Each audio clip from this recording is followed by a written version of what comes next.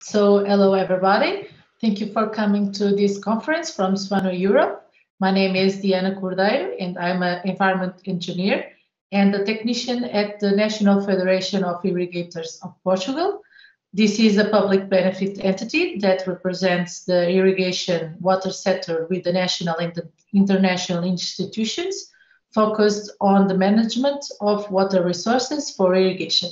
It currently represents 96% of organizations in the irrigation sector.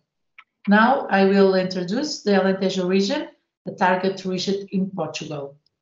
The Alentejo region has, a, has much lower annual rainfall the, than the rest of the country, as well as a higher average temperature. July and August are the months with the highest temperature. The soils in this region are very dry, which means that the long irrigation periods are necessary to satisfy the needs of the crops. This is still a region with a low population density compared to the rest of the country. Here we can see the hydrographic basins to the south of the country. The three largest hydrographic basins in the Alentejo region are the Tejo, Sado, and Guadiana.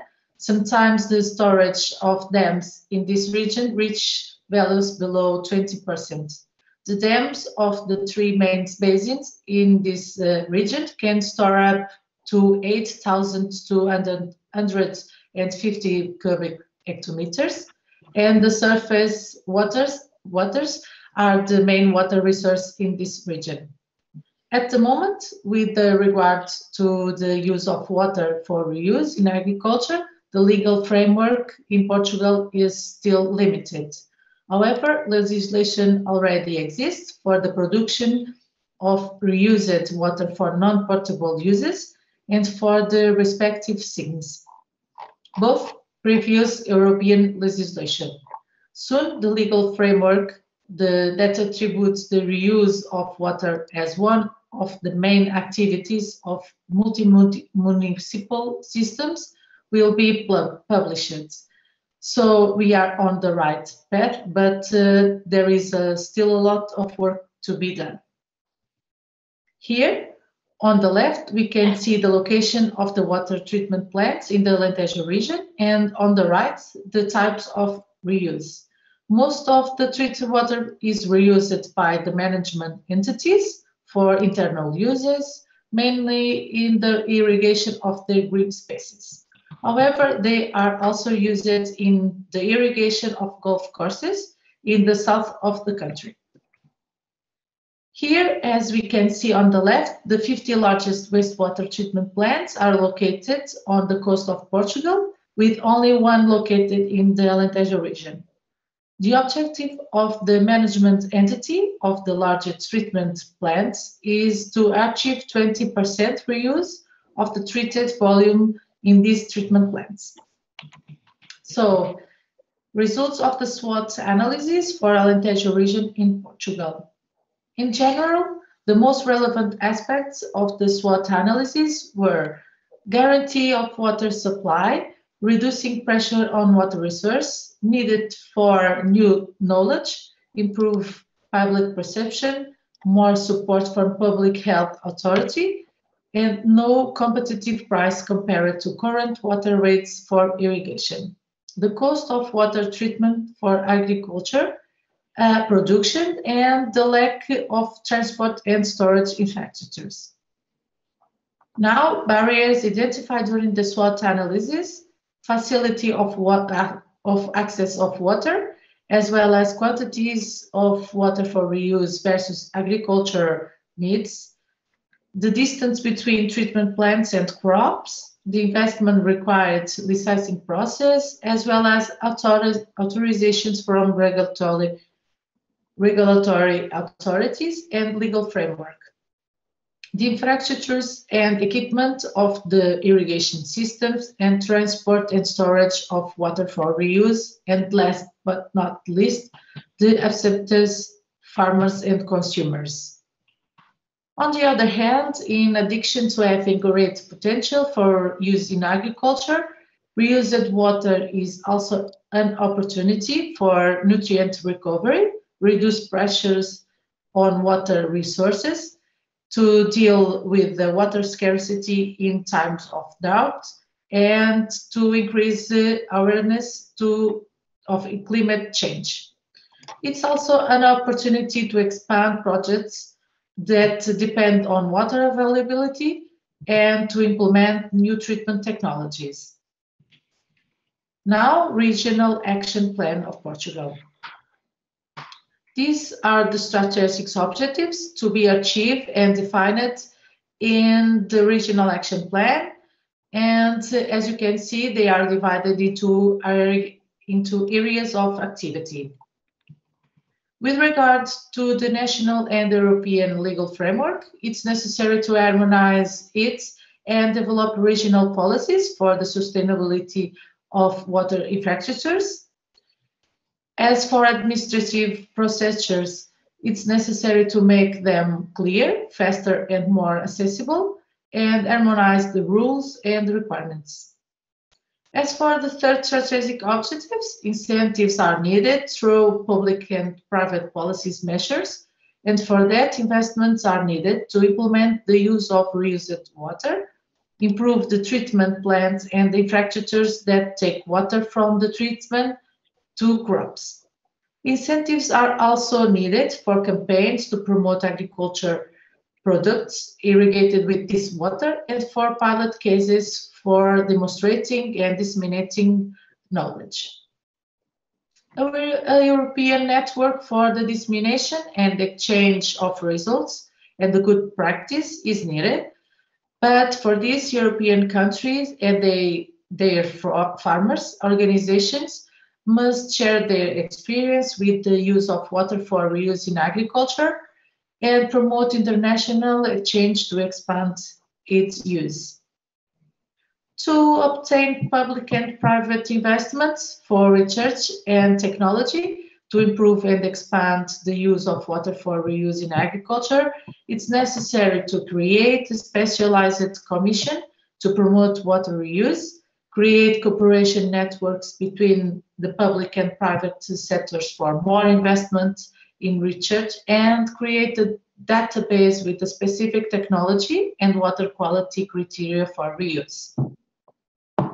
It's also necessary to encourage the development of pilot projects and inform and advise farmers about the new water treatment technologies and their application in agriculture, just as they also need to be trained to use the water for reuse in their crops. It's important to invest in communication campaigns that promote the relationship between scarcity and water for reuse, as well as to publicize and present successful projects and treatment process, as well as campaign to promote studies with the, the research institutions to disseminate the results on the quality and safety of reused water and its use in agriculture irrigation. On the other hand, more educational campaigns in schools and universities create circular economy steps, and the participatory committee with the main actors involved in the reuse of water and organize tourist visits for the community to the treatment plants and irrigated crops for reuse. Finally, a summary of the points that we consider important to boost water reuse in Portugal. So irrigation of water for reuse in water management models, uh, existence and disclosure of incentives, implement risk analysis for water treatment plants according uh, to non-potable uses around the treatment plants, accessible information on the safe use of water for reuse in food production, and more information for better social acceptance. And that's it. If you have any questions, please contact us using the contacts here. Thank you so much for your attention. Thank you so much, Diana. Diana, can you just give a brief presentation of FENARREG before we move on to, to Julio in one minute? No more than that. Uh, okay.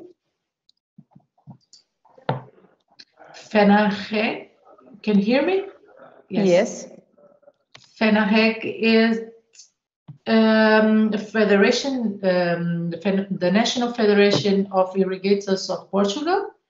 This is a public benefit entity that represents the irrigation water sector with the national and international institutions focused on the management of water resource for irrigation. It currently represents 96% of irrigations in the irrigation sector. Perfect. Thank you so much, Diana. Thank you so much. That's it. So we move on to, to Julio. Julio, can you hear me? Yeah. Yeah. Perfect. So Okay. before you start your presentation, can you give a brief presentation of, of UCO? One minute. Well, just- UCO, yes, one minute. UCO is Universidad de Córdoba. We are we start 50 years ago around around two faculties. In that time was Faculty of Veterinary and the School of Engineering, Agricultural Engineering.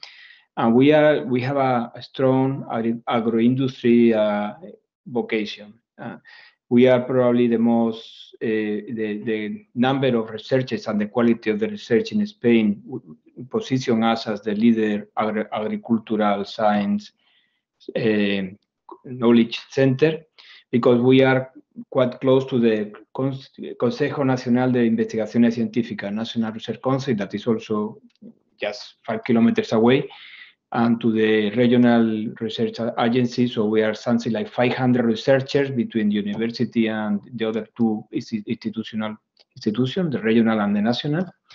So, and what are we working is mainly in Mediterranean crops, uh, Mediterranean crops, water efficiency, etc. That's is, is our field of research. I personally am the leader of a research group called We Are. Uh, we Are is Water, Environment, and Resource uh, Economics. Um, where we, we work mainly in the relation between water and agronomy, water and the human people, because it's, it's water in general, water, urban, agricultural water, etc. As you know, and I will go now into my presentation. Yes. Thank you so much, Julio. I, I, agriculture, I mean, reuse is just the interface between the urban and the agricultural. So we are just, our project is just working in, in the interface. Just a minute, just a minute. Sorry, sorry. Okay. Uh, then I do compartir, no? Yes, compartir, and then I share, compartir. Are, you- are you sharing? No, you cannot see, no? You see? I can see your full screen. You need to to to select only the the, the PPT window. Yes. We do it before, we did, but now it's not working. We do it before. Full Yes. screen. And now you share disk sharing. Can you see? Well, I just put this all in the in the full Yes, screen. Yes, I can see your. Yeah, yeah, yeah. That's perfect now. did. Okay, sorry. we- Before we did in other way. Well, then my, my presentation is is- is very small because I, I I was supposed to do a very small presentation. So we talk about Andalusia. Uh, well, and, uh, by the way, uh, the, the, the, when I saw the Alentejo uh, description, the, the resor- water resources are similar to the Span to the Andalusian. It's, Andalus, Andalusia is a little bit bigger is in, in, in area, and we have something like 10, 10 million cubic meter of reservoirs of resources, and you, we just see that the Alentejo has is 8.5 million. We have the main river is Guadalquivir, and then we have some small rivers that go from to the coastal. No? You see, we have many agricultural system here. Uh, we are 17% of Spain, but the agricultural production is 25% of Spain. So that difference between 17% of the area, 25% of the final agricultural production, gi- give you an indication of the competitiveness of this of Andalusia. No? Um, we have the very low density, very na- very natural rangeland. where You have mainly livestock, extensive livestock, starting with the left. No, Um, and then we have the rainfed cere- cereals. The average rain, rainfall is similar to Alentejo, maybe higher, 500 millimeters around an average. It's very difficult to give an average in Spain because in Andalusia because we have mountains, desert, and it's very complex. But this is an average. And then we have rainfed cereals. Then we have these rainfed cereal are transformed to olive olive cultivation in general. There is some transformation from rain-fed cereal to olive, to olive oils because olive oil is more productive. Um, olive oil, olive oil, 25, 30% of the olives are irrigated with very low, low quota, with one, 100 millimeters per year of irrigation. That's nothing. Uh, still 70% is rain-fed. We have some mountainous areas like you see there in the Sierra Nevada in the south with, with typical terrace and very low productivity and very high value and very touristic, but the, the, production is very low. And then we have the intensive, yes, the intensive greenhouse area, very concentrated. It's not really, uh, it's not really agricultural area now. It's in an industrial, an industrial site really, because the intensity of cultivation, there is a 20% is hydroponics, so there's no soil at all. And some of them use, uh, use carbonic fertilizers, so to increase the production inside the greenhouse. So more and more it's becoming more industrial and less agricultural. And then we have around 25% of the agricultural crops are irrigated in Andalusia, including the one I mentioned, the olive, olive oil, irrigated olive oil. Well, this is what you see, and the land use is one third is olive, one third is herbaceous, cereals, rainfed, etc the best pasture is the, the in the in the rangeland, and we have fruits, citrus, uh, citrus mainly, and some subtropical. Now avocado is also in, in Portugal and in Spain. Avocado is a hot topic, no, and a small quantity of vineyards. What happened in in Andalusia? Uh, in Andalusia, in the last 20 years, uh, drip irrigation becoming more and more important um, uh, surface irrigation is becoming less and less important. You see how it's going down. The, the, the gravity, I see in Spanish, is, is still used almost only for the uh, rice that is in the mouth of the Guadalquivir River. No? Uh, and you see where the water comes from. 81% of the water in Andalusia come from surface surface uh, water. Mainly, they are used, regulated with reservoirs, with dams, and then the, there is a distribution and allocation of the water in the reservoir to the irrigated communities, etc., etc. No? And then groundwater. Groundwater is around 20%. You see the number there is everywhere, mainly in the coastal areas, but it's everywhere, also in the inland Andalusia. Um, officially the reuse water and desalination water is only 1%, so of the total water. No? Uh, we, we, grow high value crops. Before I comment that the we are 25% on the Spanish agricultural production and only 17% of the area, so something is working here. No? And you see here more or less an average. This is quite variable depending on the price of the product. No? A normal price of the product of olive oil it can be converted in two euros per cubic meter of productivity. So if you want, I can give you the number. So it's very easy. One cubic meter of water gives you half kilo, half kilo of olive oil. Okay, so if you multiply the half kilo olive oil by the price, you can get maybe 2.1.5 euros per cubic meter. How much can they pay the farmer? Well, the farmer cannot pay two euros, obviously, because they have other costs. They have harvesting costs, fertilizer costs, etc., etc. So my estimation is that they can pay uh, up to 60 cents. After 60 cents, they are losing money. Uh, almonds, similar numbers. Almonds are now also a hot topic here, and you can go to this number. Avocado, mango, subtropical, they can pay more because they are very profitable. They can go even to one euro per cubic meter.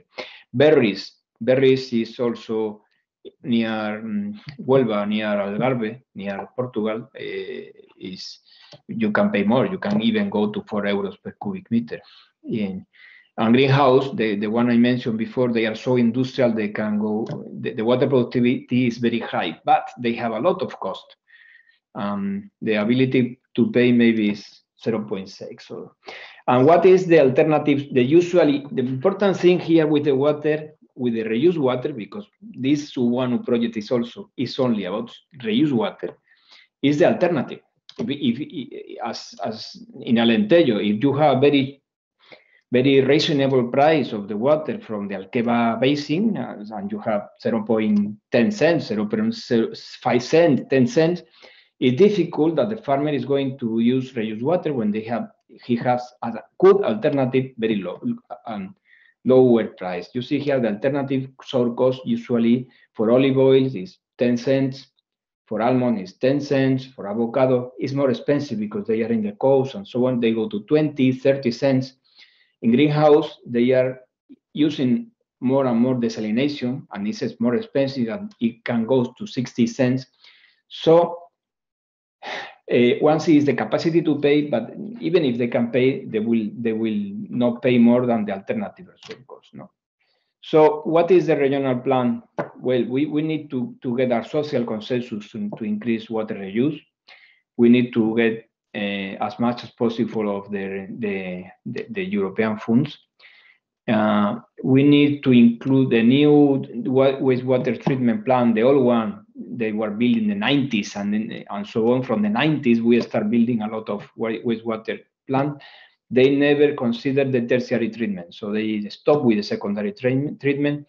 And some of them are now eh, increasing the wastewater treatment plant with a new tertiary treatment to be able of producing water with the quality that the, the regulation, European regulation said. No? The water agency, both the Guadalquivir River was and, and the and the Mediterranean, because we have two, is willing to change uh, over extracted aquifer water rights for groundwater. Eh? Okay, because the, the, the idea is you have an, an aquifer that is in the coast and with saline intrusion and with mm, de decreasing level of piezometric, and we want to say to the farmer, look, stop pumping and we give you reused water. What's the problem? The problem is that the farmer, even if they are using uh, groundwater, they have the right to do that. The only problem is mm, the, the water is becoming more and more scarce. And even if they have a legal allocation, uh, we need to do a, a new planification so that everybody get a reduced quota because if everybody, use the quota, we, we finish the aquifer in, in the next 10 years.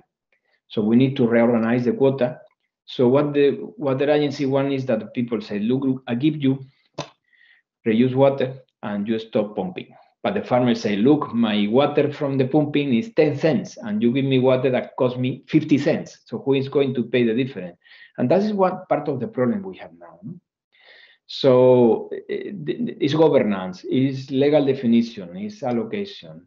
Sometimes also we have we have a very old and very good, I think we have a good legal framework since 1985. Um, it's working quite well in a country as dry as Spain, more or less. We are respecting the environmental flows, uh, more or less. Um, people is more or less getting the water they, they have their, their right. But uh, the the use of mixed sources so that your allocation usually is you, you, you are allocated only surface water or you are allocated only groundwater.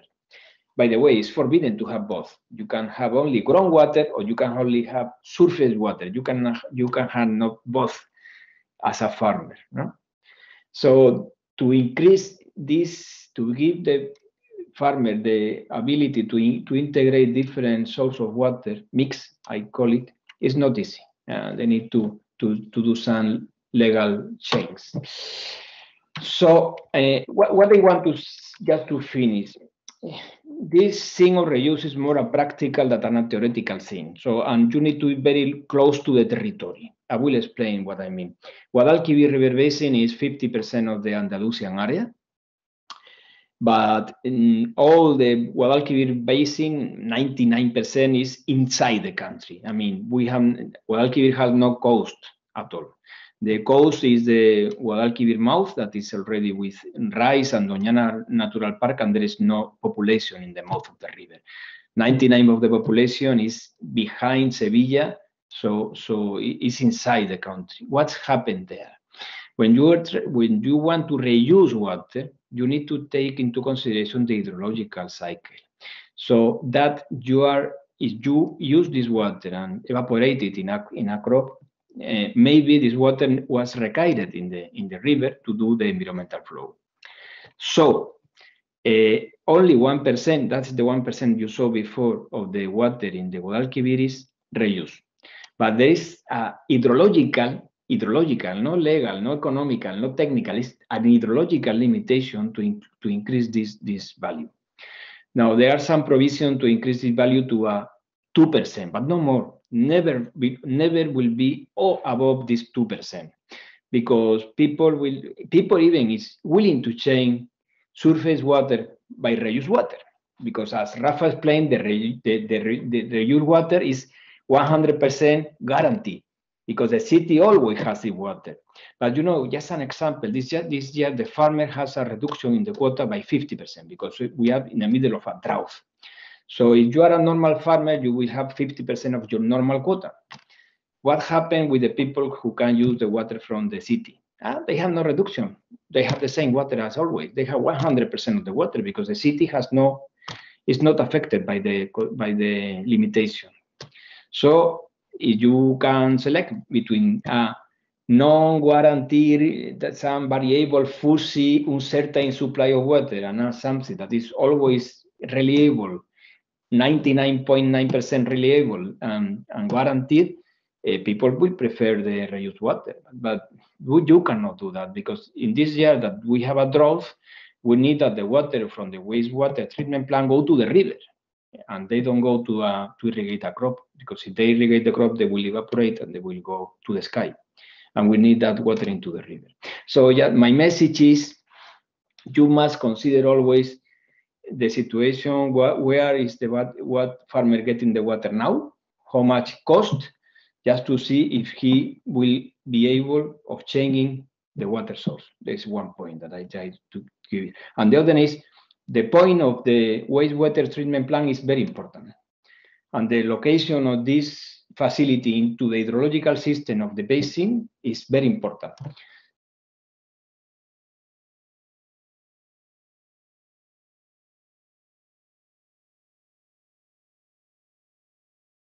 So good morning again. Maybe we can start with Noemi presenting the region of Antwerp and Limburg of Belgium. Noemi, thank you very much. yeah, thank you, Carolina. I will I will start a regional dynamic session here uh, for the region of Antwerp and Limburg, or more broadly, the region of Flanders.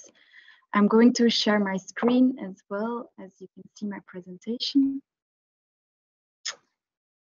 So normally uh, you see my presentation if everything is all right. Um, so I'm going to explain you a little bit more about the context of reclaimed water in the region of Flanders. So that's the northern part of Brussels. Um, myself, I'm Noemi Gizet. I'm a researcher, uh, water and, and, soil at the research station for the vegetable production. And I also prepared uh, one slide with a very brief presentation of uh, our uh, organization as that you have a bit of background from where it comes from. So um, we are the research station for the um, vegetable production, and it's a member organization of growers and farmers in the vegetable production. And we do mainly practical and applied scientific research, are in interaction with uh, many actors in the horticultural sector. And so one of our main goals is also to disseminate our results, uh, our research results. Um, on the slides, you see all different types of research topics uh, we focus on. And I also elaborated a bit more, more about uh, the work we do within uh, the water topics. Um, but now let's go to the content of this presentation. Um, on this slide, I summarize a bit uh, the context and the state of play of water in the region of Flanders. And the most important figure maybe, or the, the ones who says the most is the first one, which uh, states the water availability per capita per year in the region of Flanders. Um, the index is around 1,000 to 1,700 cube uh, available per capita per year, and it is it indicates uh, uh actually uh, low water availability in the region. This was also figured on the maps of the previous speakers of this morning. Uh, when you see Flanders, it's also often uh, figured uh, in, in, one of those red uh, colors, uh, which indicates uh, water scarcity in a region. And that's maybe something that is not automatically linked with a region, as, it, as it's often like pictured as a region with a lot of rain. Um, but it can be explained by the relatively low availability of fresh water resources. Um, we don't have massive rivers which um, have yeah can bring a lot of inflow of water but this also in combination with very high uh, population density uh, in the area.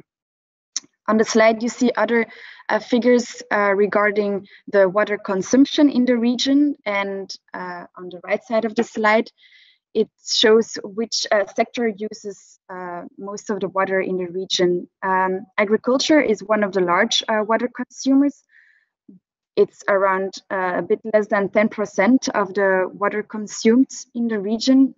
But you cannot, I guess, compare it to uh, regions um, like more southern European countries where I would expect it would be more uh, towards the 70%.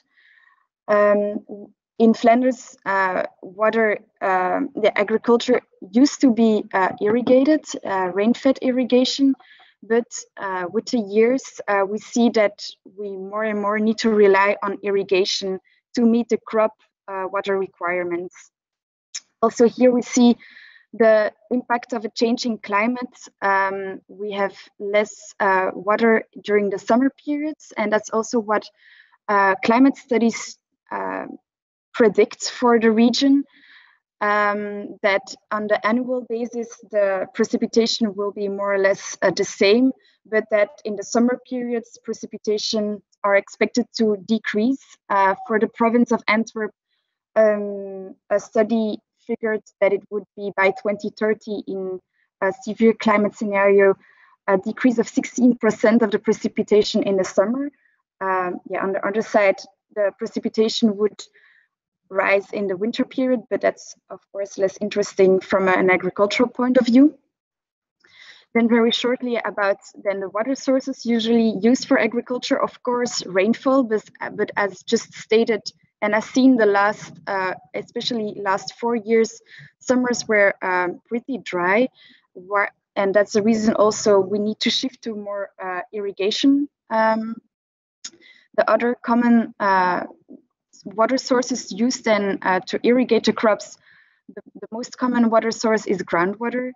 But here in Flanders, um, groundwater resources are uh, put under pressure. It's um, that's also the the, the text. I that's the, the text of some uh, journals, but it also came a lot in the media as a, an important point of attention in the region.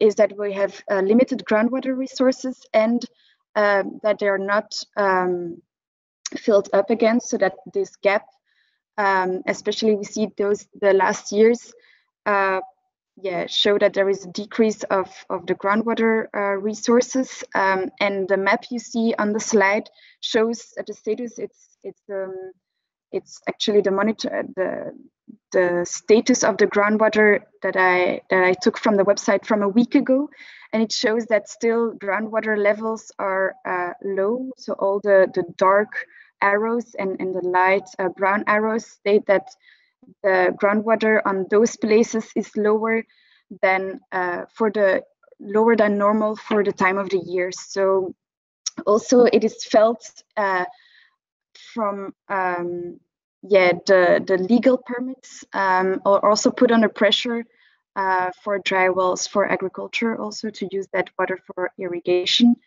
And then another commonly used uh, water source for uh, irrigation uh, is surface water, but also there, um, last years there have been um, more uh, prohibitions to use that water source, especially during droughts, and also they're setting up ecological minimum flows for in certain water courses to to ensure uh, yeah, ecological lives in the rivers. So all this together brings us why uh, reclaimed water also here gains interest to use um, for irrigation uh, in the region of Flanders. What is the status? Um, it is um, so we treat um, 800 million cube of water per year in Flanders. And the treat the wastewater treatment operator in the region is Aquafin, which is the main operator of wastewater treatment plants in Flanders. Um, those figure also figures also come uh, from them, and they say that less than 0.6% of the wastewater is now reused. Uh, in the chart, um, the, the blue um, uh, color uh, states that reuse uh, is for drinking water. In orange is processed water, and then the little uh, piece in gray are basically the collection at the wastewater treatment plants. And from those collections, agriculture is the, the main uh, user. 80% of the collections in 2019 and in 2020, it was 60% for agricultural use. But overall, it's a very small amount. With the regional stakeholders, we also set up a SWOT analysis stating a bit the strengths and the weaknesses of this water source compared to other water sources in the region. Uh, a big strength is, of course, uh, the continuous supply of this water even during dry periods and that the water treatment technologies are available in the region. On the other side, the weaknesses is um, yeah, the temporal and discontinuous demand of agriculture, for now, in the last years, it was uh, used in a case of emergency and a bit as a last resort of, oh, there is no other alternative. We are going uh, to, to reuse that water. Um, and um, yeah, that is one of the weaknesses currently. Um, another weakness are, is, of course, the costs uh, compared, yeah, for an additional treatment, for storage, uh, compared to other water resources and the lack of a distribution network. In Flanders, we do not have the tradition, as I said, of, of, of large-scale irrigated agriculture. So we do not have an extended distribution network as it is uh, traditionally in uh, more southern European countries. Um, and then we also stated some opportunities and threats um, back then, when we made the SWOT analysis, the political vision and the legislation was still a source of uncertainty, which could be seen as an opportunity or as a threat, which could also block some initiatives depending on uh, the regulation which will put into place. Um, also interesting is um, that water com committees um, or organization of farmers and, and other stakeholders around water is seen as an opportunity as it barely does not exist in the region, uh, but it could be a form of grouping people together um, in, in yeah around the use of water. Um, as we see, it will be more imp important in the future. Um, I'm not going to be more in detail, otherwise the presentation uh, will be too long, but all those reports are also available on the project websites. Furthermore, we also developed a regional action plan uh, in the region where uh, we state together also with a regional working group, uh, a group of stakeholders um, in, in the region of Flanders. Um, also there, I'm not going into detail because it, there it, it says yeah, some step we could take as region to achieve some results. Uh, but I highlighted the, the key uh, messages in the document uh, which uh, states, based on the discussion, that we should go towards a more structural approach and not an ad hoc uh, use of this water uh, as it was in the past. Also regarding uh, reclamation treatments, which will be necessary.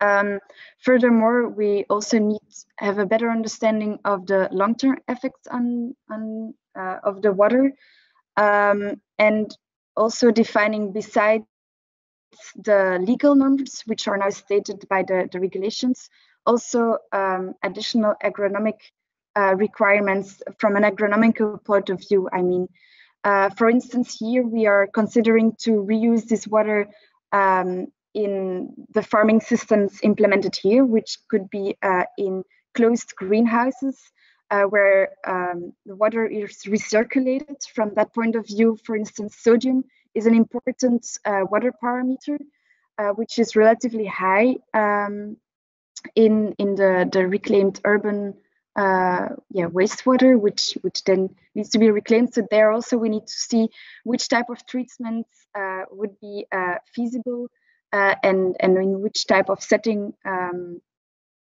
yeah, is, is this uh, feasible? And so it boils down into a case by case evaluation and also very necessary uh, in the region is a cost benefit analysis comparing also with uh, the costs of other water resources to make it uh, more feasible on a larger scale to reuse that water for irrigation. Okay, I'm going to not take too long anymore, but I wanted to end with um, highlighting some initiatives um, going up in the region. As I said, we do not have a very uh, yeah, large scale use of um, of reclaimed water from an urban wastewater point of view, but uh, the last years there was a lot of interest and also different uh, initiatives are um, are ongoing now in Flanders. Um, as for instance, um, the, the, the, initiative in, in the framework of the operational group AWARE, uh, which is located in the in the province of Antwerp and where uh, we reclaim water for, from wastewater treatment plants uh, for uh, vegetable production, which is irrigated with drip irrigation. Uh, here we, we actually supplied the reclamation treatment in a form of a, of a container where we could actually test uh, different, um, which makes us able to test different reclamation treatment traits and also to um, evaluate that on the effects of E. coli, which is an important parameter in the European regulation.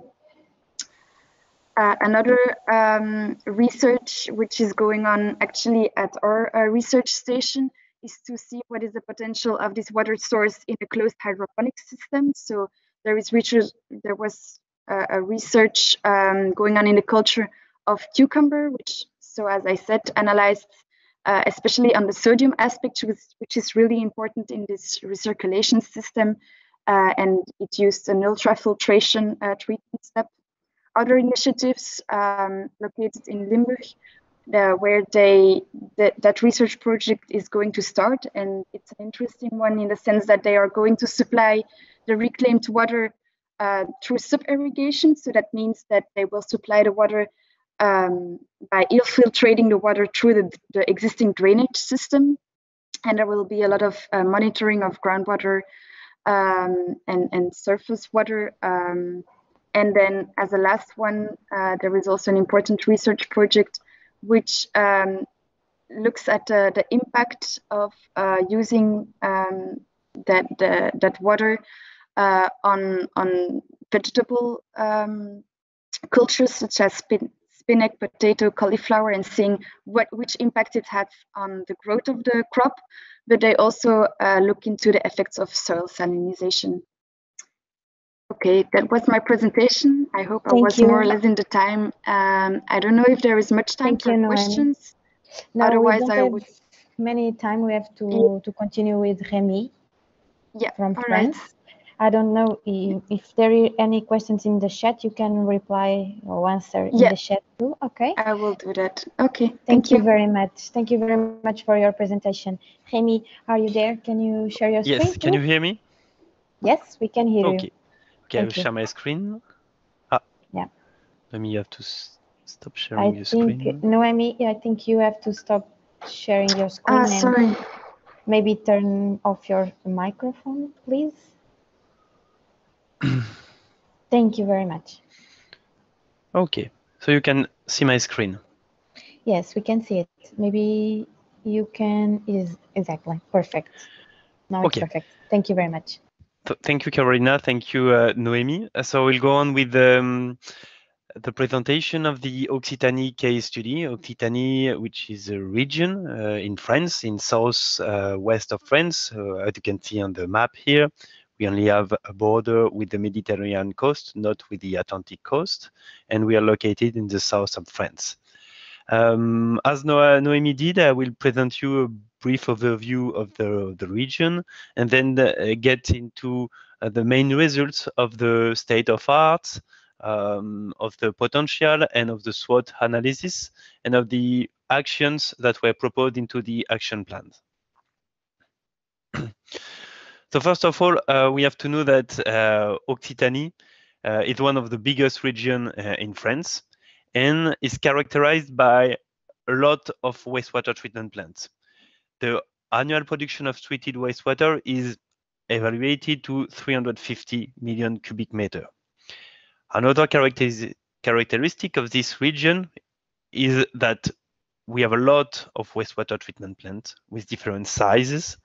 The biggest one being from the for the town of uh, Toulouse and of Montpellier, but also a lot of smaller wastewater treatment plants located in rural areas. This is a very rural area with a lot of uh, agriculture and of uh, not urbanized uh, Another characteristic of the region is that the wastewater treatment plant globally, they work very well. They are very efficient and performant in terms of treatment. Now, if you look at the uses in terms of irrigation, of agricultural irrigation, in green on the map, you can see uh, the land occupy, occupied by agriculture. So on the Mediterranean rim, these are mainly vineyards to, for grapes, for wine, that are most of them not irrigated, but more and more irrigated, and with an irrigation challenges uprising every year. And on the other side, in the um, near Toulouse, on the Garonne basin, you can see that there are a lot of green area there where the main crops are mainly cereals and maize with a lot of irrigation, especially for maize. The Occitanie region has made an assessment uh, that by 2050, there will be an, an, additional need for agricultural irrigation of 125 million cubic meter. This rise a challenge is that where to find this additional water when you, we know that considering the climate change and the uh, available water resources, there may not be sufficient water resources, conventional water resources. So the question here is, is water reuse a good lever to face uprising water scarcity?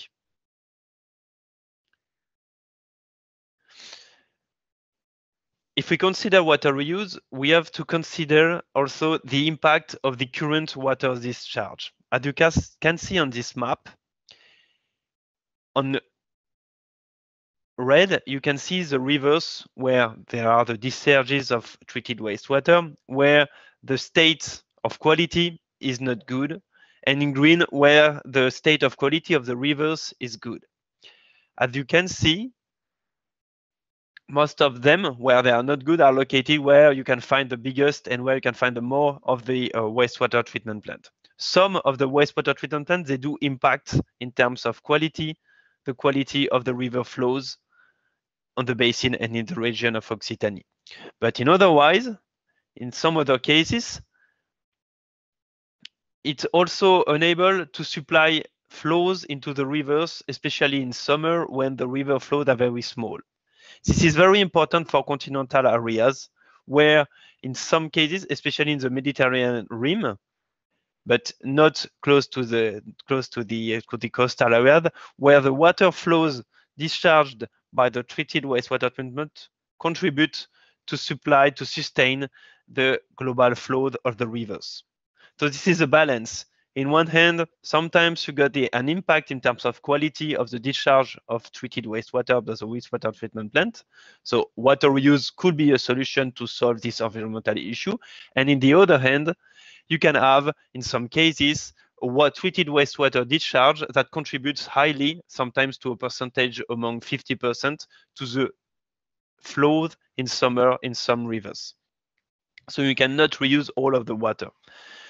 Otherwise, you can impact uh, the, the, the, environmental uh, system. Another characteristic of the Occitanie region, as you can see on this map, so in green you can see the irrigated area, the, the crops areas, sorry. In, in uh, blue, you can see the cycle that are the main wastewater treatment plant.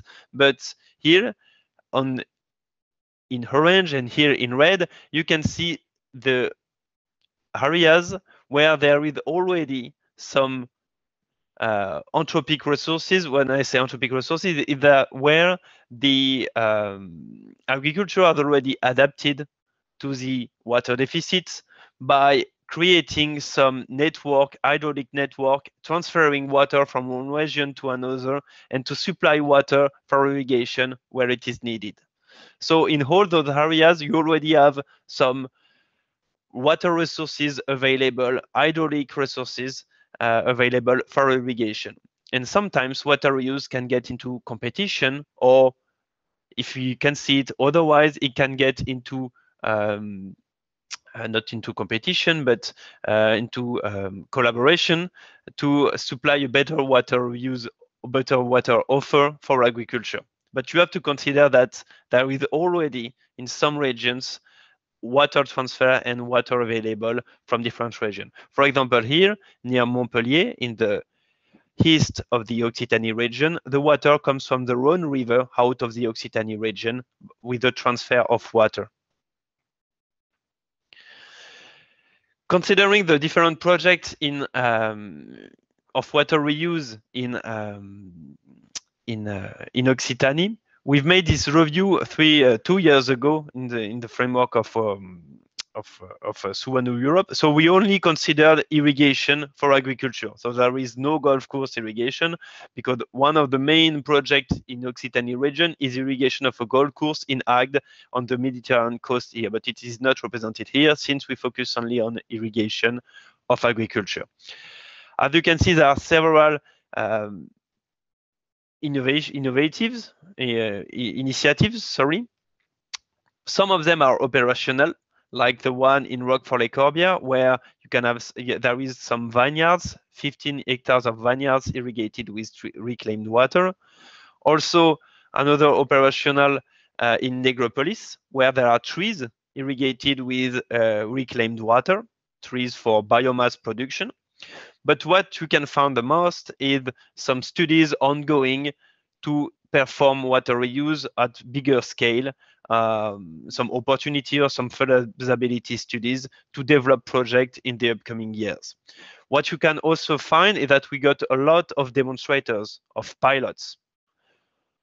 We can mention smart fertile for irrigation of maize, maize here in the in the uh, in the west of the region but also the ReRo project that focus on irrigation and small wastewater treatment plants with technology specialized um, with low cost and robust technology dedicated to small wastewater reuse project. And also a pilot in Montpellier and another one on vineyards, uh, on uh, vineyards called Irri-Alt'Eau. Now, if you focus on the SWOT analysis, I will not get into much details. You can go into the deliverable for that. But if we focus on the main strengths, strengths and opportunities for water reuse, you can see that uh, one major opportunity for water reuse in Occitanie is got compared to other regions, we got efficient, we got numerous, and we got large volumes of wastewater treatment plant. Or wastewater treatment are efficient and numerous, and this is something really important. Often we lack some disinfection steps, but at the basis we got some system that works very well. Another good strength of the region and of the French uh, uh, French uh, system also is that we got a good mastering of treatment and of monitoring solution implementing to ensure the safety of operators and consumers. So uh, we are, um, let's say, able to implement reclamation system performant and robust. Another opportunity that the demand for water is increasing, as I was mentioning before, with uh, an increasing demand for irrigation of uh, 125 million cubic meter in the upcoming 30 years. But the major weaknesses and threats that have been uh, mentioned are the fact that, of course, the current water discharge of treated wastewater contribute to sustain the flow of the rivers, thus making continental water reuse less interesting in general than coastal water reuse, where water is generally discharged directly into the sea and lost. Another main uh, weaknesses is that, um, as you can see, we get sometimes kind of competition with some other water resources, conventional resources, and uh, we got cost of water reuse that can difficult with difficulties compete with uh, those conventional water resources, thus making the acceptability by end users by, and by farmers very difficult. And of course, the notion of acceptability and of perception that uh, can sometimes some mismatch some uh, some topics and that can be potentially exacerbated by the COVID situation, as uh, I've personally seen on uh, one project uh, in Occitanie. So um, on the synthesis, we have to say that so far the development of water reuse in Occitanie is quite low and slow, uh, considering the potential, but it is rising so far. Um, one reason is, as already mentioned, is that the part of the territory is already adapted to the water deficit with transfer of water and solutions that have already been implemented. But water use could be one lever, but it is not the miraculous solution for, for this water deficit. And of course, there is the highest higher potential for coastal areas than for continental areas where water discharge into the rivers contributes to, to sustain the flows. Um, I also just put uh, some details of the um, regional action plan that you can see. You can have a look into more details on the on the website of SUWANU. We propose 23 actions with different levels of priority, from priority one to priority three.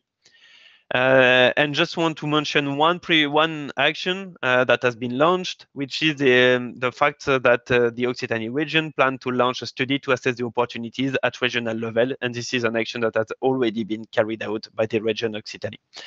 Another fact that I wanted to mention is that water reuse in Occitanie region will be really uh, dependent of the implication of four main four major actors, which are the Occitanie region, the public entity by itself, the agricultural chambers at regional and department scale, of course, the Farmers Federation and the water agencies that could encourage and subsidize project.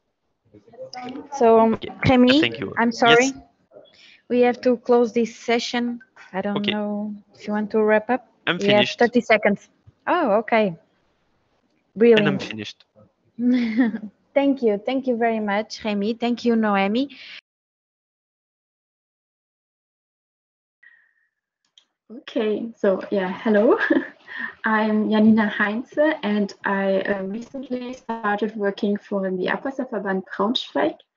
And here I'm responsible for the coordination and organization of the national and international research projects.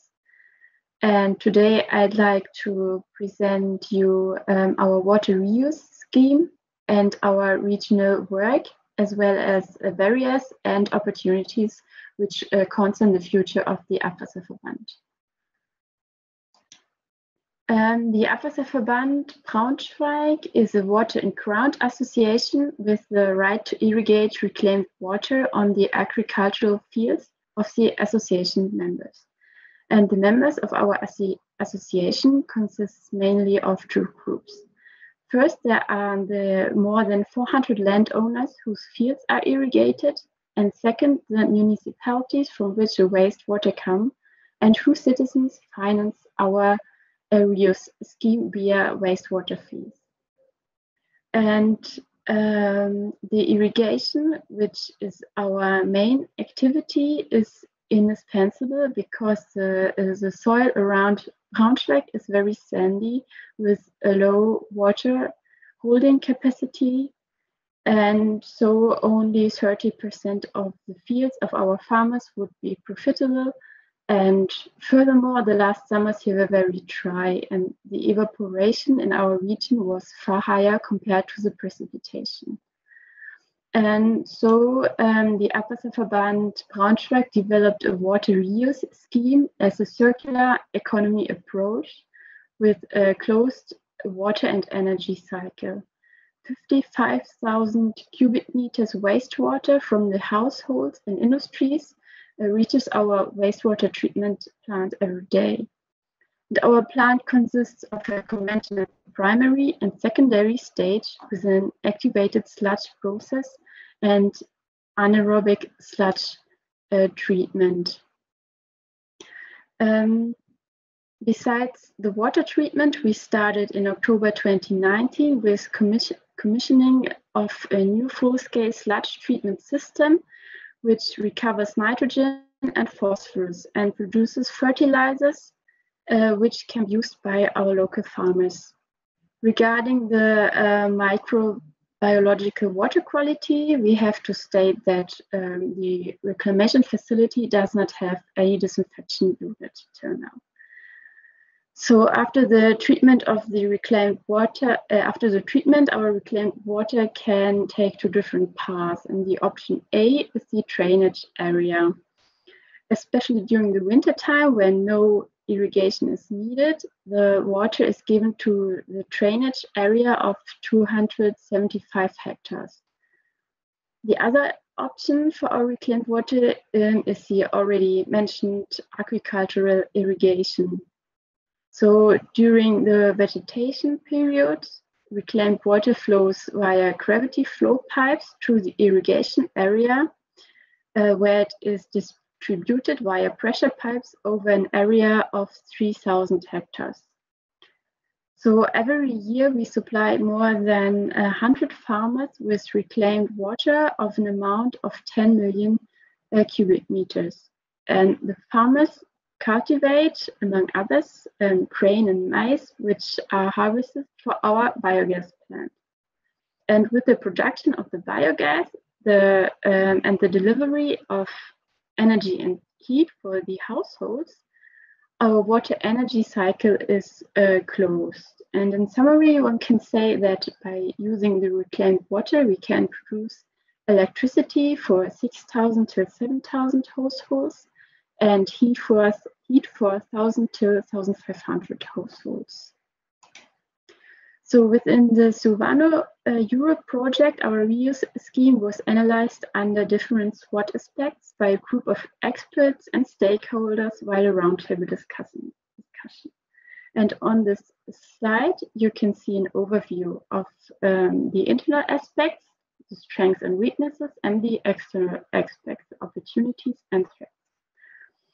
Um, so I will go into a few points in more detail to illustrate our work at the regional level. So besides other strengths, we have a strong collaboration with our local farmers due to successful long experience.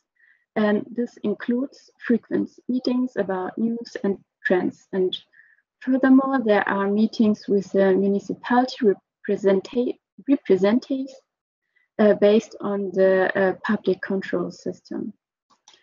And this existing close network simplifies the forming of regional working groups and the meetings between all the relevant actors, as well as the meetings with governing and opposition parties resulted in um, the conclusion that the analysis of multi-resistance bacteria and also the reduction of bacteria along the uh, reuse process is very important. And these perceptions of the regional working groups are also reflected in our um, weaknesses at the SWOT analysis. Um, the potential health risk uh, due to non-disinfection of our reclaimed water was identified and additionally the detection of micropollutants uh, like pharmaceutical residues in the uh, groundwater under the irrigated field is another major topic, which was also discussed in our workshop here in Braunschweig. At the workshop, we could present our reuse scheme to 55 relevant stakeholders. And furthermore, um, there were experts from different sectors who presented their knowledge regarding water reuse, nutrient recovery, and policy.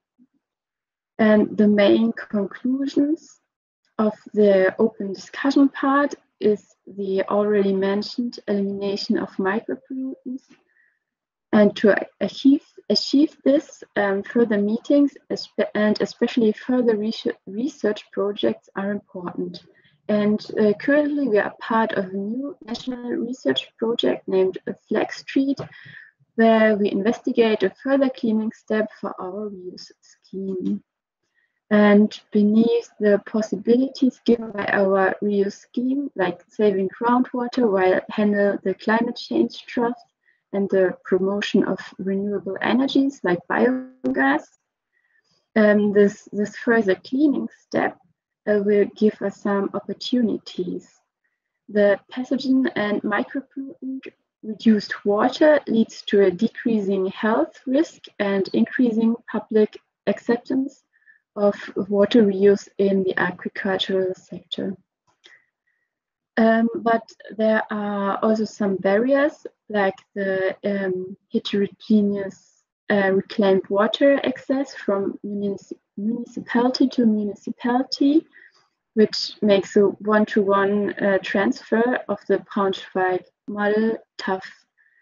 So, and a complex regional and national manage management is necessary to close the nutrient and water cycle.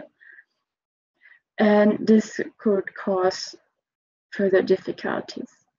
And like the use, uh, like the difficulty, uh, like the use of the, the secondary fertilizers um, because of minor quality compared to mineral fertilizers and holding on to old habits, yet the implementation of new technologies is, is always a challenge. And in addition, the new European law is a barrier for us. The shown tables are from the regulations of the European Parliament and of the Council of 25th May 2020 on minimum requirements for water reuse. And yeah, we've seen these tables also this morning um, in, in another presentation.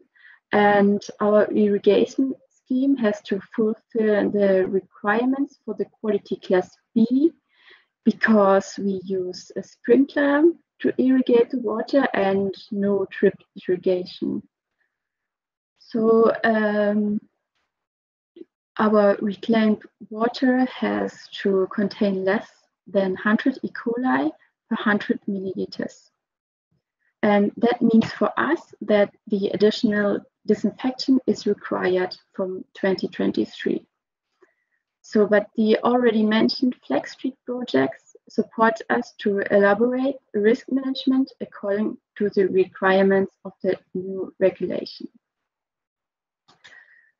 So all in all, there are challenges and opportunities ahead of us.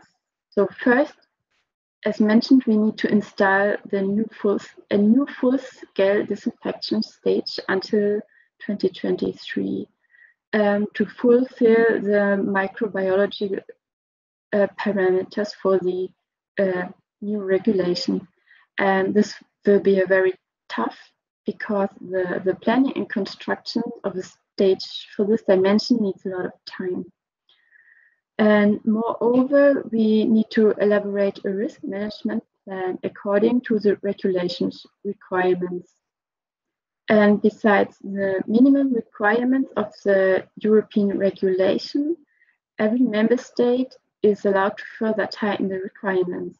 So as in, in Germany, the focus is more on micropollutants within the water sector. We expect that the German authorities will ask for an additional treatment uh, regarding um, the micropollutants. Um, but we have also some advantages because with the implementation of the new regulation, we have a continuous legal basis for the water reuse. And furthermore, we are very interested in minimizing the health risk and elaborating a risk management, including a multi-barrier system regarding um, the potential risk. And we expect that the risk management will further increase the support of the local community for water reuse. And another important issue is that we can extend the cultivation range of field crops by implementing the new regulation and uh, a disinfection stage. So now I think you have an impression of the Braunschweig water reuse scheme and also how the participation of uh, on projects like SUWANU uh, supports us to master the future challenges. And yeah, many thanks for your attention. Many thanks for the organization. And if you have questions, please ask. So,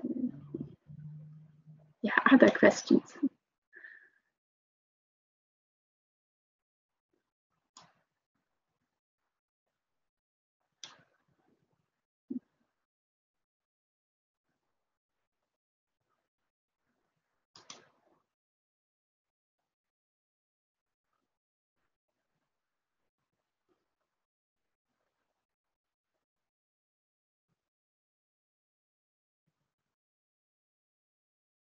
Okay.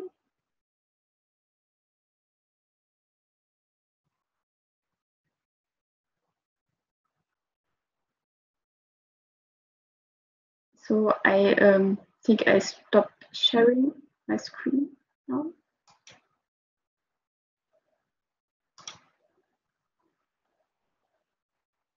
Okay.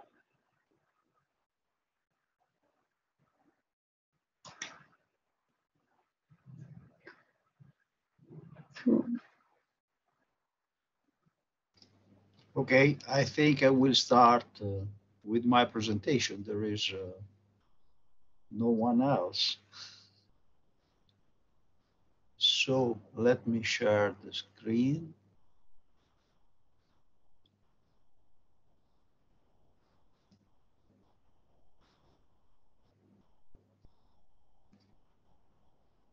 You can see.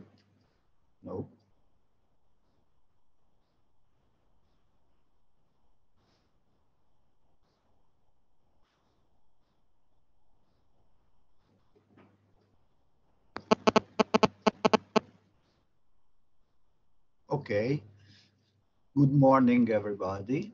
My name is uh, Adriano Battilani. I'm working for uh, water and uh, soil reclamation uh, board in Italy. is a Consorzio di Bonifica in Italian that are agricultural water boards that are managing water for uh, agriculture and infrastructure for water management uh, for agriculture. Uh, our uh, um, case study is located uh, in uh, Emilia Romagna in northern Italy. Emilia Romagna is in the in Emilia Romagna in the Po Valley in northern Italy. the Po Valley is a very large river basin and is also one of the most complex river basin all over Europe because uh, has uh, different kind of mountainous area, hills, uh, valley, uh, many, many uh, river basin because the Po has many affluent from the Apennines and from the Alps. And on top of this uh, is one of the largest and most important economic region in Italy and uh, also in uh, Europe. In the area are living about 23 million uh, people, a third of all the Italian citizens, and the population density is uh, quite high, almost double compared to the national average. In only in this area, we have 710 wastewater treatment plants equipped with tertiary treatment technologies, so that are potentially useful or for use to uh, feed our canals and our agriculture with reused or regenerated water. Uh, is quite important because the economic dimension of uh, the Po Valley is uh, of about uh, 738 billion of euro, which means 40% uh, of the entire Italian gross products, exceeding in the, in the dimension, the economic dimension, nations such Netherlands, Sweden, or Poland. So in this area that was originally devoted to intensive agriculture and industry, now we have still intense farming, cattle and pig breeding uh, that are quite the characteristic of the made in Italy food uh, and uh, agri-food industry that are characterizing this large area. Unfortunately, the Po River suffered serious environmental consequences through the poor water management because of industrial sewage pollution and also agricultural runoff. In this region, we were following uh, SWOT analysis, we're making a SWOT analysis following an LFA uh, approach, so logic framework analysis approach. So we were using all the data collected by the different institutions and by our uh, organization of uh, agricultural water boards in order to combine a SWOT, combine a questionnaire that was well calibrated for the stakeholders in our region. Uh, in this um, graph, you can see that we have divided the answer for, let's say, stakeholders groups that are farmers, the social one, those that are close to the citizen or organization, ONG organization, and so on, utilities and consultants and knowledge provider, researcher, university, and so on. We considered uh, as interesting or impacting in negative or positive sense those that in positive were reaching at least a score of 4,5 for all the categories or vice versa, those that were close to 2 for for all the categories or at least less than 3 for all the categories. What happens when we are talking about the positive impact of the water use, the strength?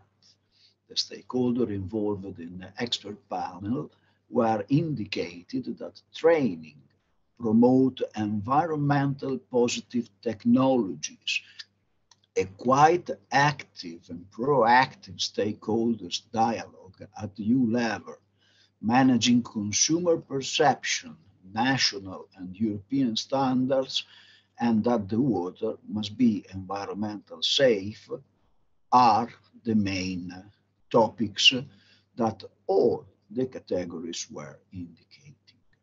On the contrary, there is a gap on the trust in innovation, on restore riverine ecosystem and support local agriculture, that the latter, in particular, supporting the local agriculture with the opposite magnitude for social stakeholder or for farmers. It seems that the there is a polarity in which those that are more devoted to environmental protection don't care to let uh, such water resources, uh, don't want to let such water resources go mainly towards agriculture or are not caring too much about the uh, rural, rural society incomes. Going uh, to the weaknesses, the weaknesses uh, are a bit more complex to, uh, to, to draw, and I would say the agreement is found on water pricing, need to pump and store, so we need to have uh, infrastructure and storage infrastructure, mainly the latter are lake, lacking in, uh, in, all the, in all the area, and on promotion of water use, but all of these with the lower score. These agreements were mainly about limited availability, farm size, and consumer protection. Limited availability means that the capability of production could be not sufficient to solve the drought problem that we have in the area or to compensate the lack of available water during drought spell on many other uh, crucial aspects, there is uh, a sufficiently common understanding about the potential negative impact is something that is part of the narrative that is uh, is around the water use all over Europe, and I would say in many areas of the world. Of relevance, the use of energy and the need of infrastructures, beside the bad reputation of water use. So uh, it seems that the main weaknesses is that to reuse water and to make these resources suitable for food production, we have to increase the carbon footprint because we will have to use far more energy and the need of infrastructure because the infrastructure that we are already having and managing need to be refurbished or adapted or modernized in, or, in order to be able to match with the water use needs. And the bad reputation of water use co could be a trade barrier for our production. If we look about the opportunity, the, there is a big contrast. Not uh, all the stakeholders group are uh, seeing the same opportunity. And uh, one of the most uh, recognized opportunity, what is an opportunity that can uh, let them feel more safe is to have an international management uh, and EU regulation and also infrastructure and water scarcity. So the opportunity to have new infrastructure to be protected against uh, trade barrier and to have an homogeneous, as far as possible, criteria in water use that is not creating a gap in competitiveness are points that are considered a good opportunity beside uh, a higher amount of resources available for our agricultural production. There is a clear disagreement about cost sharing, limitation to industrial or non-food crops, to new irrigated area, alternative water sources, previous experience, and the impact of the organic food market. Uh, I think that the most important one is how the cost of water use will uh, become a burden or a further burden for agriculture and for the agricultural organization. And uh, if this will uh, change or reduce the flexibility of the farmers when they have to choose uh, the kind of crop they will put in their rotation. So if they have to limit themselves to some kind of crop that in many cases are not considered between the so-called cash crop, those that are providing the higher income. Overall, opportunities are really perceived in a very different way, starting from quite far standpoints. So uh, this is uh, the very basis of motivation and willingness to undertake the necessary efforts and to cope with the, with the reforms that are ongoing. But it seems that still stakeholders need to find good motivation to engage. The threat, the threat, there is a strong agreement about the lack of social acceptance and the rejection of products risk. These two points are at the end uh, converging in the same issue.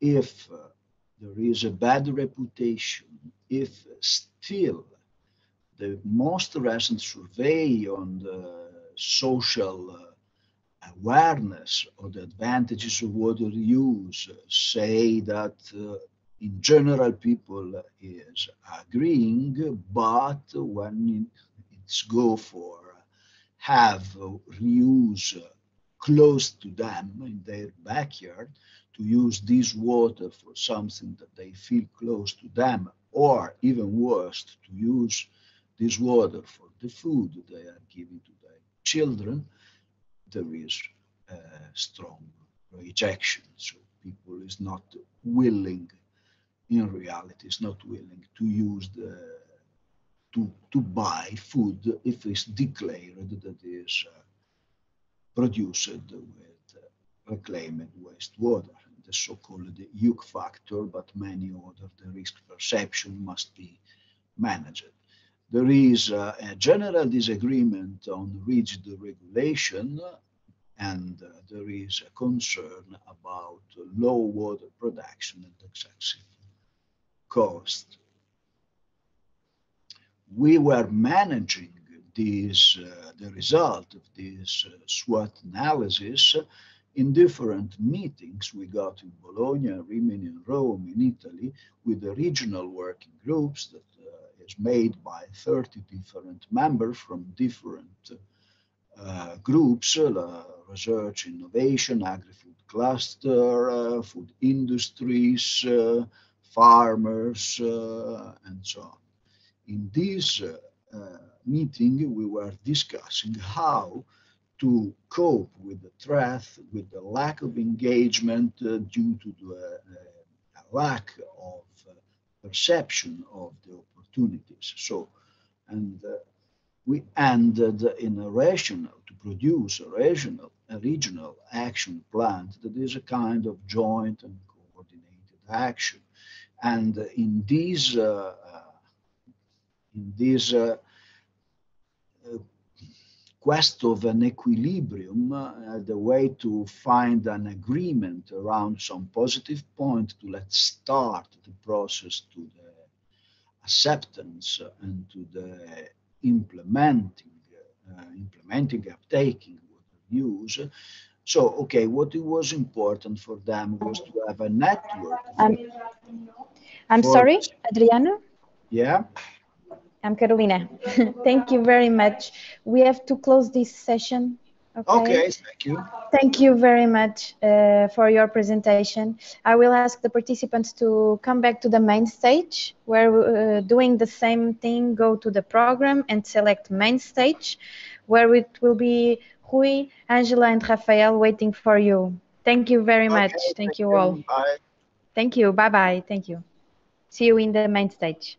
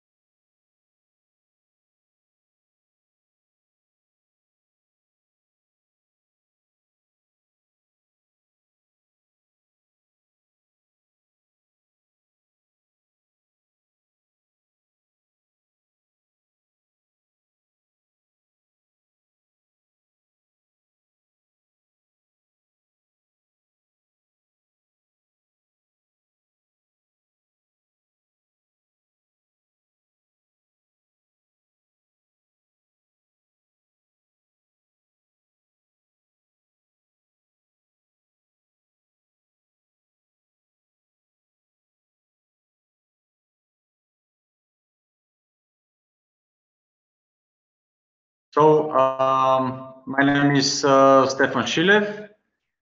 Uh, I'm uh, part of the Bulgarian team in the SUWANU, and I will uh, make a short presentation of um, our work done uh, in Plovdiv region and Bulgaria as a whole of uh, SUWANU SWOT analysis and region action plan for Plovdiv re- region.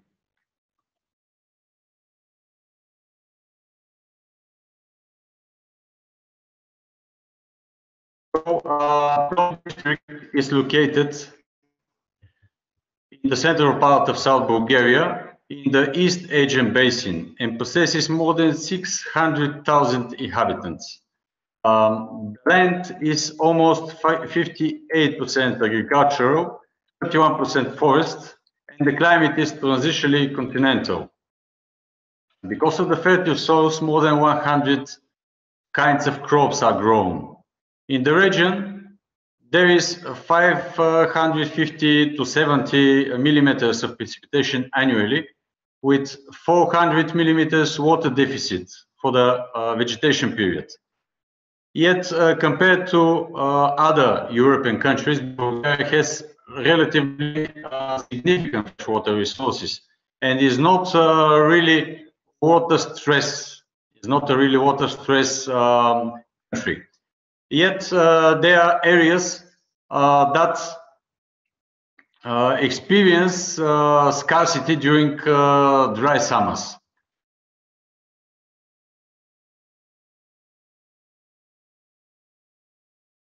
Average of renewable freshwater resources in East Aegean Basin District, uh, where Plovdiv region is situated, is about uh, is about 9,000 uh, 5,900 42 hectocubic meters renewable freshwater resources, but 100% of them are due to internal runoff. The main drainage artery is uh, the Maritsa River and its tributaries. That is the largest river on the Balkan Peninsula. In the East Aegean region uh, exists 23 large dams that represent a total storage volume of 3,105 hectocubic meters. But there are also many smaller dams, uh, state or municipal property with additional storage volume of 523 hectocubic meters. Uh, they are uh, an important function uh, in the river flow regulation.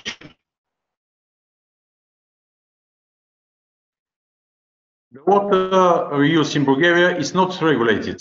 The main legislative uh, ordinance that uh, regulates the irrigation sector is Ordinance number uh, 18 for the quality of water used for irrigation. At present, 13 urban wastewater treatment plants uh, exist uh, operating uh, in the territory of Plovdiv district and we're expecting that the number will increase to 16 in next years. Total uh, treated uh, wastewater uh, produced in the territory is uh, 49 cubic meters, of which 2.5 hectocubic meters is the recorded use of reclaimed water for irrigation in agriculture. In addition, private initiatives uh, for use of reclaimed water for irrigation do in fact exist and are applied to their own lands in, uh, in plants uh, concerning uh, poplars, roses, uh, lavender, etc. Here uh, are graphically presented the strengths, weaknesses, opportunities and threats for the Plovdiv region. I will uh, main barriers to the use of reclaimed water in Bulgaria, which were uh, identified during the SWOT analysis. First of all, is uh, that the average rate of water loss is uh, more than 57%, uh, but in some area it reaches almost 70% due to the, uh, the infrastructure. The strong fragmentation of agricultural land is a major barrier to agricultural development in many areas and leads to poor access to the irrigation infrastructure. Low and seasonal availability of the treated effluent in some area, uh, areas is also uh, a barrier. Information in the society about the water, its quality and effects on agricultural products also is uh, a barrier. In uh, fifth place, the widespread and in some cases illegal use of groundwater resources has, has led to little interest from farmers uh, about the water use. Low efficiency of science business axis is another barrier. Seven, in seventh place is uh, uh, the small number of practical cases of reclaimed water use in Bulgaria as a successful example. Continuing, uh, uncertainty in public opinion regarding the reclaimed water use in agriculture is uh, also a barrier.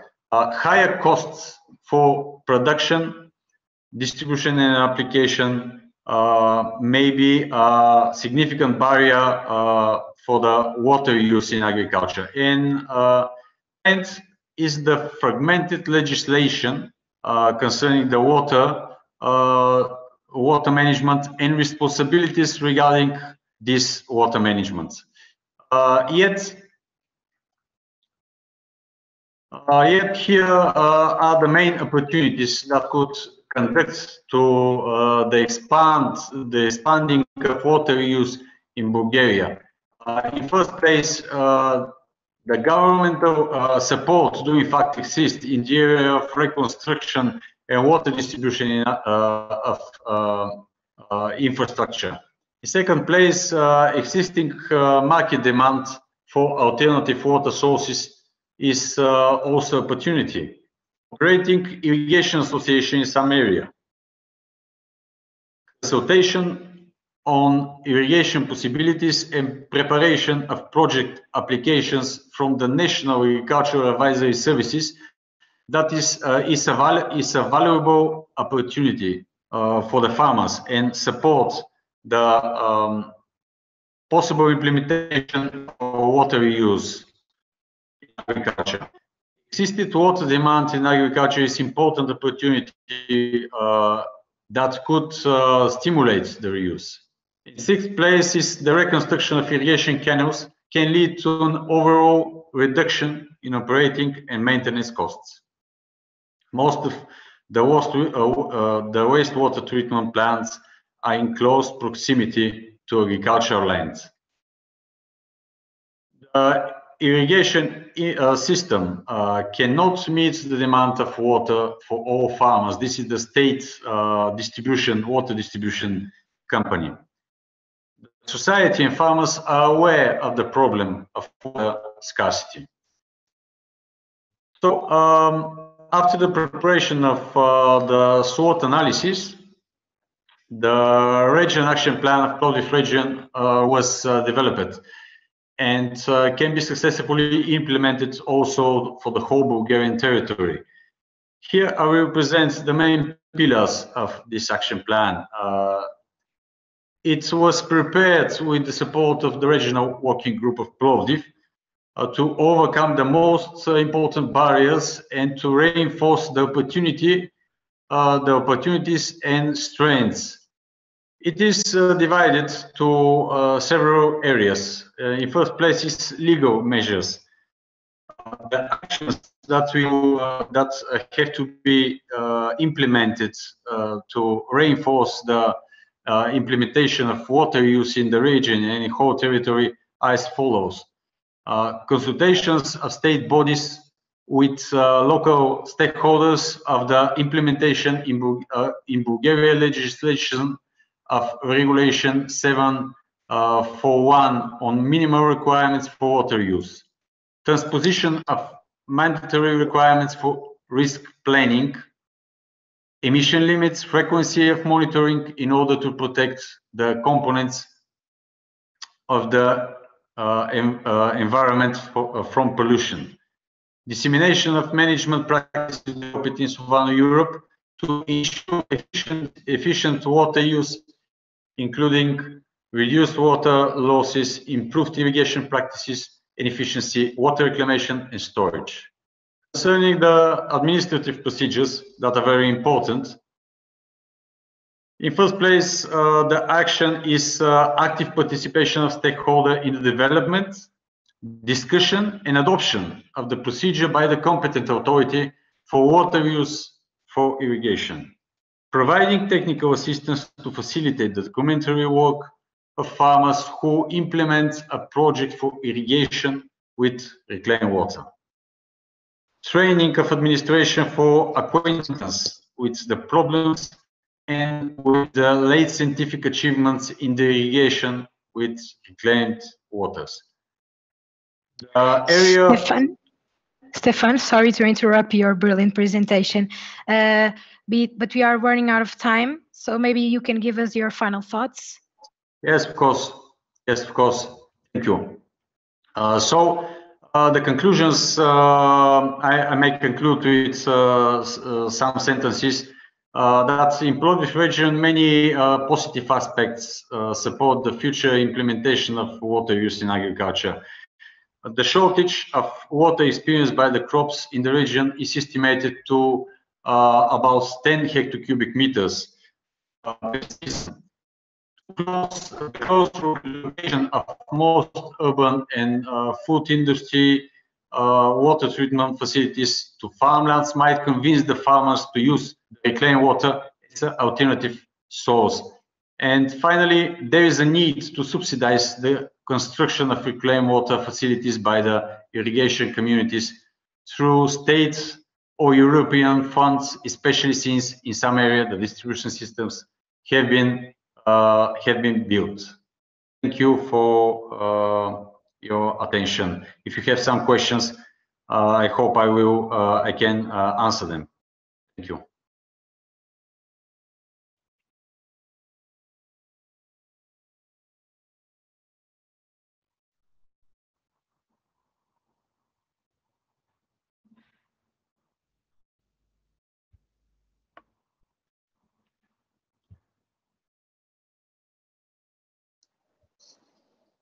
So I don't know if someone have uh, a few questions for Stefan.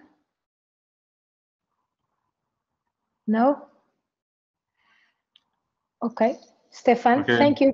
Thank you for presentation. Thank you. Thank you. Also, thanks. Uh, maybe we can start the next one with Elena and George. Welcome. Welcome to you too. Thank you for. Thank you. Thank you. Thank you very much. Let me share my screen. George, could you please turn off the microphone for a minute? Thank you. And I'm going to share my screen. Share and.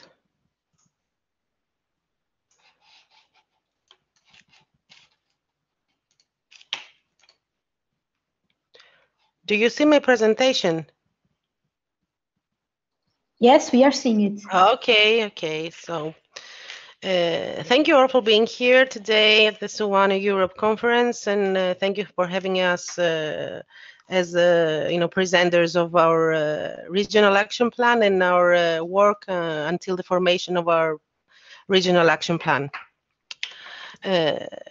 the previous uh, presenter, uh, Stefan, also talked about the, the SWOT analysis that we were supposed to carry out uh, uh during the project. Uh, he and the, the area of uh, Bulgaria and Thessaloniki, Plovdiv and Thessaloniki have similar things in common in terms of our perspective of recovery of uh, water and uh, its use uh, and reuse in agriculture. So I'm going to be uh, a bit more, uh, you know, um, consistent on that. And uh, I'm going to talk. I'm Elena Zanu, first of all. I'm an assistant professor at the School of Engineering in the Department of Surveying and, Informa Geoinformatics in the International Hellenic University. And for this project, I am a scientific collaborator of uh, ANETH. ANETH is the development organization of Thessaloniki and is a, a partner uh, on the SUWANU Euro project.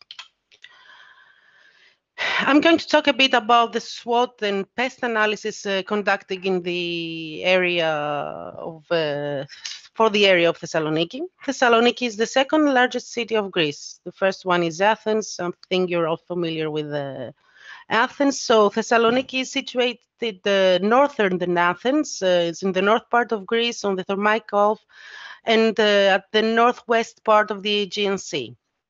Well, Thessaloniki is uh, has a large urban area and uh, the, is the second uh, greatest city with a population of 800,000 uh, inhabitants uh, approximately, but it holds a, a great uh, area, a great ag agricultural plain.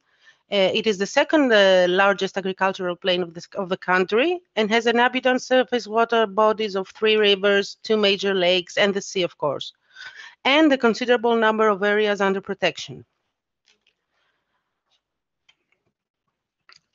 A few words about the SWOT analysis of Thessaloniki, as already mentioned by Stefan. Uh, we SWOT is uh, an analysis methodology for uh, carrying out uh, uh, important steps, and it's a helping tool to determine values, helpful or harm harmful processes and situations, uh, in order to define barriers and find ways to overcome them.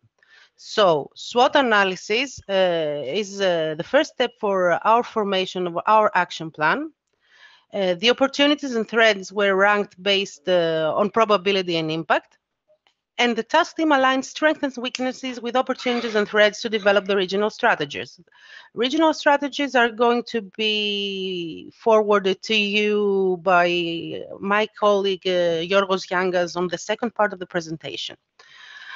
Along with the SWOT analysis, we conducted a pest analysis, which is a complementary analysis to SWOT, but gives us the opportunities and threats uh, of the SWOT analysis. And uh, we also described the pest analysis in our uh, deliverables uh, of the project. The pest analysis uh, deals with political, economic, social, and technological aspects, and uh, were assessed all these aspects were assessed in order to understand how they impact uh, on the implementation uh, and the business opportunities of water reuse in agriculture.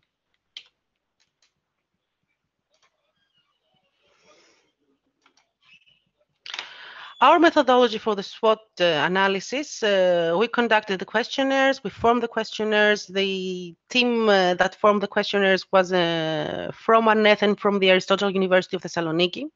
And we included the grouped SWOT categories. Uh,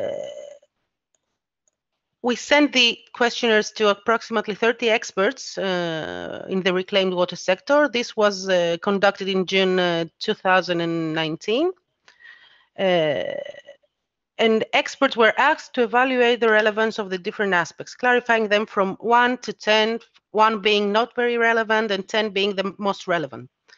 Our experts were academics, researchers, farmers, representatives of local authorities, and representatives of the private sector as well.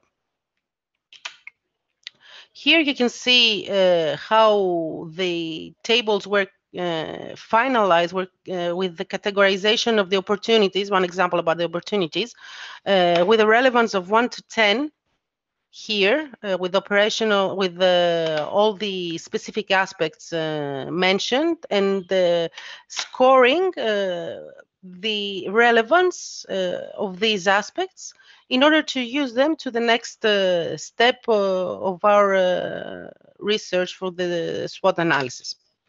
And here is what uh, it is more uh, understandable to us and to the public is uh, how the strengths, weaknesses, threats, and opportunities were formed in these diagrams uh, with the uh, categorization from zero to five of relevance uh, of strength, let's say, for the first uh, diagram. So we can see that here strengths, uh, the, the most strong um, thing, let's say, for the for our research was the knowledge and technology, along with the enhancement of water availability.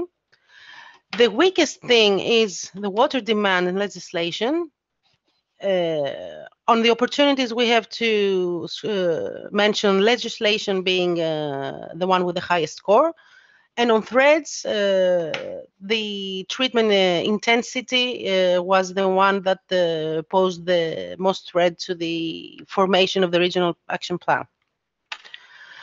Here we can see a table uh, with uh, combining uh, the SWOT and the pest analysis. The SWOT analysis is on the axis, on the horizontal axis, and the pest analysis in the, on the vertical axis, uh, we can say, say that all these uh, results uh, were taken into account to the regional action plans, uh, were seriously taken into account and uh, helped us to form uh, a plan that could be followed by by the public, by farmers, by stakeholders, by key players in the reclaimed water sector. Thank you for uh, having me. Now, George, the stage is yours for continuing with the presentation on part B. I'm stopping my presentation now. You can continue. Thank you, Elena.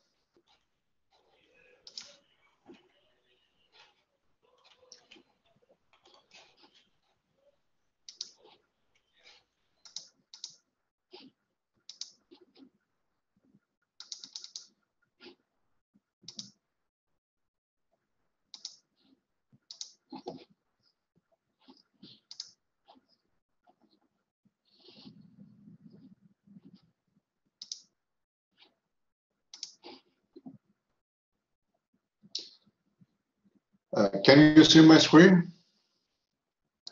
Yes, we are seeing it, George. Okay. Uh, I'm going to continue the presentation for what happened in uh, Thessaloniki during uh, the action, the deeds of the Action 2.6, uh, the elaboration of the uh, regional action plans. My name is George Yankas. I'm a scientific collaborator of uh, ANETH, uh, which is already have been presented by my colleague uh, Elena. And uh, I'm going to make a swift presentation. Uh, I must, firstly, I must point out that all eight regional plans adopted a common frame, a common hypothesis, the same critical aspects, the same elaboration fra framework for delivering their plans. Then I'm going to present uh, the order and the content of the principles, which were taken under consideration for the regional plan of Thessaloniki. And then I will close my presentation with a short look at the basic steps of this plan. So all eight regional uh, actionable plans had to have the same main goal, uh, that was formulated during the Action 2.3 General Action Plan that was made by the University of Cyprus. And here you can see that the main goal uh, of, of, the project was to uh, promote the use, the reuse of reclaimed water uh, in order to have a more resilient agricultural sector uh, that it would be able to cope with uh, water scarcity and combat the climate change effects.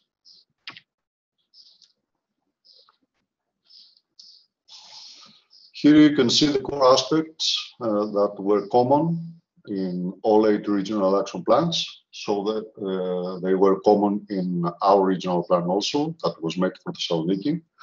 These aspects have to do with the social perception of the use of the reclaimed water for irrigation of crops, the cost involved for this method and how it must be allocated, uh, the regulatory, uh, the regulatory, regulatory framework, sorry about that, that must be raised to a common level, especially with the boundaries of the, of the European Union.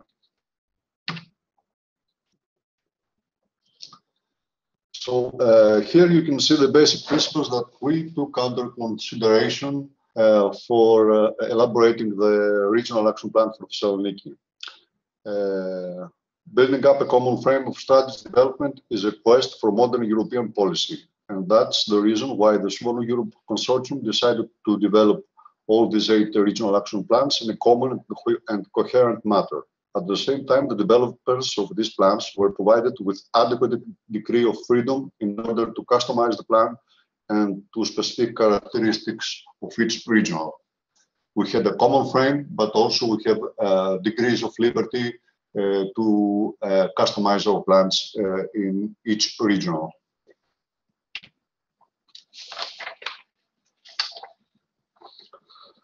And uh, now let's take a quick sharp look at the principles that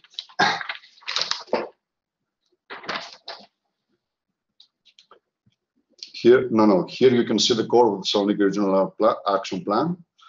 Uh, the path arrows represent the steps that are more advanced. For example, uh, the methodology frame, the action one has already been done. Uh, the flat arrows represent the steps that are uh, pending for promotion. Uh, it's, I don't know if you can see, I suppose you can see it. It's the effects of the COVID-19 epidemic. Uh, the hard fact is that uh, the promotion of a new managerial method for effluent of the uh, for the reuse of the effluent of wastewater plants requires intensive face-to-face -face consultation with all local key players. That was very hard to do under the conditions of the last year. Uh, teleconferencing is a modest alternative, but it cannot bring up to the same level of knowledge and opinion exchange uh, as a real workshop can do. Uh, our uh, actions that we have so far advanced is the European network. We have, been able to utilize uh, the outcomes of the project in order to promote knowledge and technologies. Uh, we have made, we have uh, already utilizing the information packages. Uh, we are uh, trying to promote them to all key local uh, key action uh, key players of uh, the region. And of course, due to the characteristics of our organization, ANETH is a local development agency uh, we are uh, promoting the actions uh, and we are trying to find ways on how to stimulate and to use alternative financial resources, non-traditional funding resources, in order to persuade our stakeholders, which are uh, the municipalities of uh, the uh, Thessaloniki area, in order to upgrade their wastewater treatment plants and finally come to a point that we will be able to reuse the water for irrigation of crops.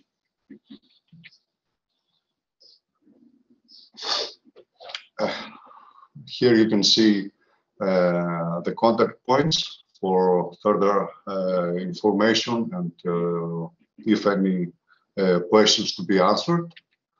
And I also have to uh, call you uh, to follow us on social media if you want to uh, watch the progress of uh, this project. Thank you.